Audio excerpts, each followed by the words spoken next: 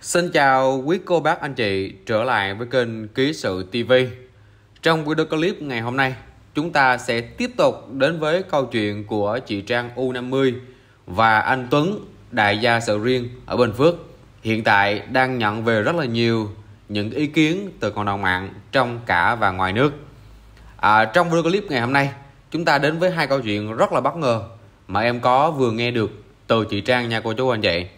Đầu tiên là có một cái sự bất đồng giữa chị Trang và người mẹ ruột của mình về cái vấn đề bây giờ là chuẩn bị cho cái đám cưới sắp tới.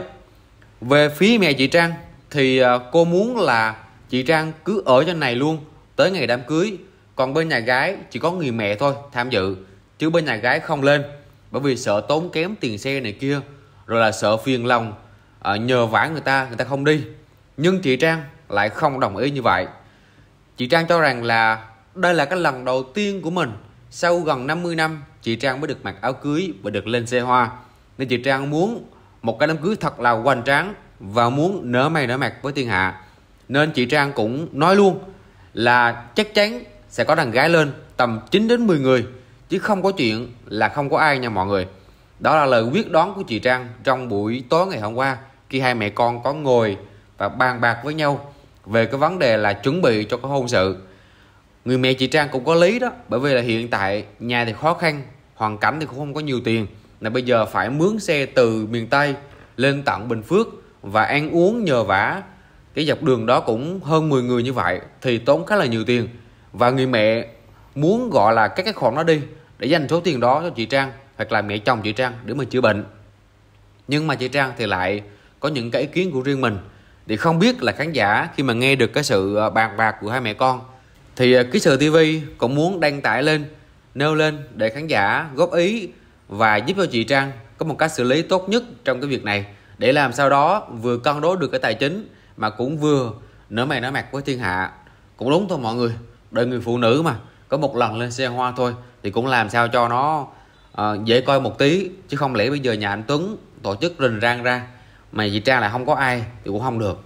Nên mình nghĩ là cái việc chị Trang quyết tâm à, tìm được 90 người đi họ cho mình cũng là một cái ý nghĩ cũng dễ hiểu thôi cô chú anh chị và cái điều thứ hai mà em muốn chia sẻ trong cái clip này đó là một tiết lộ chấn động của người mẹ anh Tuấn nha mọi người. Chúng ta lâu nay cứ nói rằng là anh Tuấn là một người à, à canh giữ vườn thuê cho người khác hoặc là làm ăn chia hùng hạp gì đó với anh em thôi nhưng mà không cô chú anh chị mới đây nhất thì mẹ của anh Tuấn đã lên tiếng và xác nhận rằng một tin bất ngờ luôn mọi người cô có hé lộ về cái khối tài sản trên 50 tỷ đồng của mình. Cô nói rằng là hiện tại có người đã trả cái vườn sầu riêng đó là 30 tỷ rồi, nhưng không bán. Và cái tròi mà chúng ta xem, khán giả nói rằng là tại sao mang tiếng là đại gia mà ở một cái trò nó sụp sệ như vậy. Nhưng mà không đâu cô chú anh chị. Còn một căn nhà khác nữa mà ngày hôm qua mình thấy là mẹ anh Tuấn có dẫn anh em youtube dưới đó đi lên thăm. Nhưng mà rất tiếc là chưa lên video clip, nên em cũng chưa cập nhật được khi nào có, em sẽ tiếp tục cập nhật lên để khán giả cùng nhau được xem. Thì đây là một cái minh chứng rõ ràng nhất cho cái việc là anh Tuấn thực sự là người có tiền nha mọi người. Chứ không phải là nổ hay là cái chuyện mà youtube họ đặt tiêu đề đâu. Đúng là người mẹ của anh Tuấn có xác nhận là có tài sản. Chỉ vì là cô không muốn ăn diện ra thôi, sợ người khác dòm ngó này kia và muốn sống cách bình dị chứ không muốn phô trương. Đó là cái lời chia sẻ của mẹ anh Tuấn. Và theo góc nhìn của mình nha, riêng cái sự TV thôi chúng ta khoan bàn đến cái vấn đề về tài sản đi. Nhưng nhìn cái cách mà mẹ anh Tuấn gọi là đối xử hai mẹ con chị Trang, cái cách mà mẹ anh Tuấn quan tâm chăm sóc và nói ra trước cộng đồng mạng, chúng ta biết rằng mẹ anh Tuấn là một người vô cùng tử tế nha cô chú anh chị. Mình cảm nhận được cái điều đó thông qua những cái lời nói và hành động của mẹ anh Tuấn. Mà mình nghĩ là chị Trang có phúc lắm mới gặp được một người mẹ chồng như vậy. Phải nói rằng là câu chuyện của anh Tuấn và chị Trang đến giờ phút này cũng đã được gọi là nghiêm túc rồi đó cô chú anh chị nên khán giả cũng hãy có một cái nhìn nó rộng mở ra hơn. Chúng ta không nên khắc khe quá với cái hoàn cảnh này nữa, mà hãy nên có những lời góp ý cho chị Trang để làm sao chị Trang tốt hơn và xứng đáng với cái hoàn cảnh này. Bởi vì mình thấy là anh Tuấn cũng thật lòng, cũng hiền, cũng dễ thương. Còn mẹ của anh Tuấn đúng là một người mẹ quá tuyệt vời rồi, quá thương con và lúc nào cũng dành cái điều tốt nhất cho con của mình.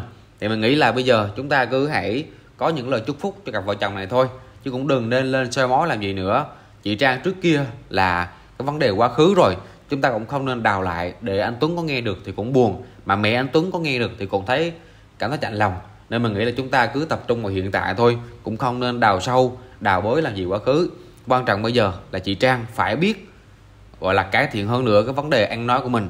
Mình thấy là hiện tại ăn mặc thì ok rồi, không còn hở hang nữa, phấn son không lè lẹt nữa. Nhưng cái quan trọng nhất đó là cái việc ăn nói đề cập cái vấn đề mà nhạy cảm là nên tiết chế lại chứ bây giờ là thái bắt đầu lộ hơn nhiều rồi. Tức là chị Trang đề cập mọi lúc mọi nơi mà không có kiên gì gì cả. Một cái người phụ nữ cũng lớn tuổi rồi thì chúng ta hãy dàn xuống một chút. Dẫu biết là ham muốn cao đi, nhưng cũng đừng có thể hiện nó lộ ra quá. Những cái gì đó, hai vợ chồng có như thế nào thì cũng là tâm sự với nhau đóng cửa bảo nhau. Chứ đừng có đề cập một cách nó lộ liễu quá trước hàng triệu khán giả như vậy, thì người ta cũng không có đồng tình. Đó là cái điểm khuyết duy nhất của chị Trang, mà em thấy đến giờ phút này vẫn chưa cải thiện được thôi còn những điều khác mình thấy là khá là ok rồi đó cô chú anh chị. Chị Trang cũng biết lắng nghe cũng tiếp thu thì mình nghĩ là khán giả hãy nên hoan hỷ và hãy có những lời chúc phúc cho cái cặp vợ chồng này. Bây giờ thì à, cả hai bà xui và cặp vợ chồng anh Tuấn chị Trang cũng đã rất là tắt bật để chuẩn bị cho cái đám cưới vào ngày 19 tháng 8 âm lịch này. À, tức là còn nửa tháng nữa thôi. Thì hy vọng là hai vợ chồng sẽ thực sự nghiêm túc với cái cuộc hôn nhân này. Bởi vì mình thấy có một số người vào và bình luận rằng là để xem được bao lâu, rồi là dự đoán là vài bữa nữa thôi chị Trang sẽ tiếp tục lên mạng tìm chồng. Chúng ta cũng có nhìn tiêu cực quá cô chú anh chị hãy cứ lạc quan lên mọi người. Bây giờ chị Trang ở độ tuổi này cũng mong muốn một hạnh phúc rồi, thì chúng ta cứ hãy chúc phúc cho họ thôi. Những cái lời nói đẹp có mất gì đâu. Nên mình nghĩ là khán giả hãy cứ thật là lạc quan lên, cũng như là tích cực lên. Đừng có tiêu cực quá, rồi cứ góp ý này kia, rồi dùng những cái lời lẽ hơi nặng nề, thì cũng tội cho họ. Cũng sắp đến ngày vui rồi chúng ta hãy dùng những cái lời chúc những cái câu chuyện vui để mà nói với nhau. Để mong rằng chị Trang hãy thực sự nghiêm túc và đây là cái bánh đỡ cuối cùng của chị Trang chứ không còn câu chuyện lên mạng tìm chồng à, từ bữa giờ rầm rộ như vậy nữa. Còn cái việc mình thấy có một số người à, cũng lên tiếng cho rằng là chị Trang ham mê tài sản của anh Tuấn này nên mới vội vàng nhanh như vậy.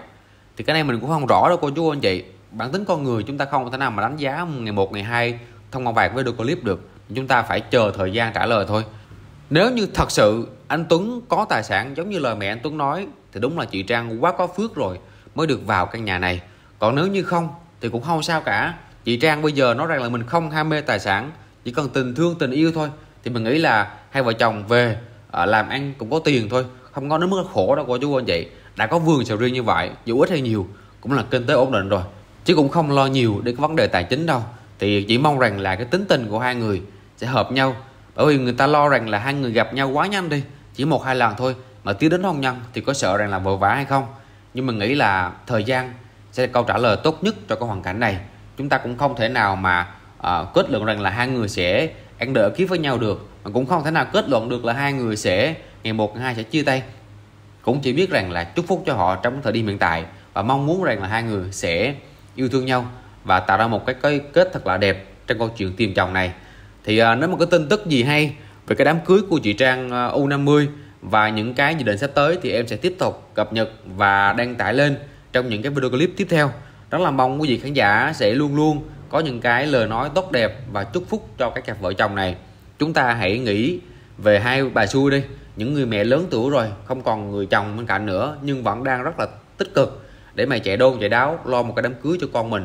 Dù là con mình cũng ở độ tuổi cũng đã lớn rồi thì đó là một cái niềm an ủi của hai cô đó. Thì hy vọng là khán giả hãy dành những cái um, câu từ những cái lời lẽ tốt đẹp cũng như là thật là tích cực cho cái hoàn cảnh này nha cô chú anh chị. Mình rất là mong là chị Trang sẽ sớm tìm được một cái hạnh phúc cho mình. Và kết thúc câu chuyện tuyển chồng phải nói là gây báo cộng đồng mạng trong suốt cái thời gian vừa qua. Còn về cái vấn đề của người chồng cũ chị Trang thì em cũng chưa liên hệ lại được nha cô chú anh chị.